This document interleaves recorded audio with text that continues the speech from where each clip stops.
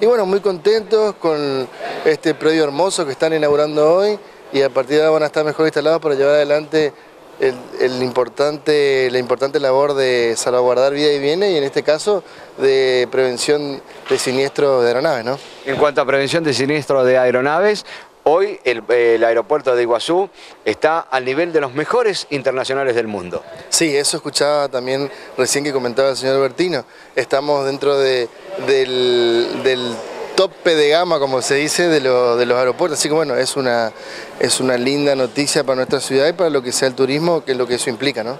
Bien, eh, les Obliga, tenemos que preguntarle cómo está eh, la venta del bono colaboración, preconstrucción del cuartel bomberos.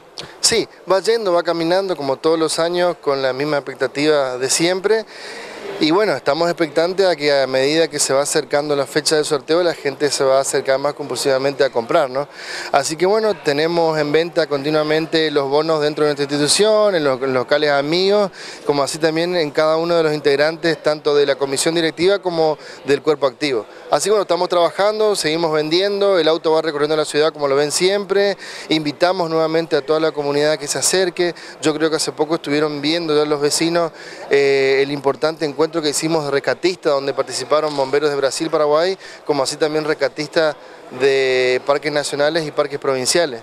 Todo esto se lleva a cabo gracias a los recursos que nosotros queremos a través de estos bonos.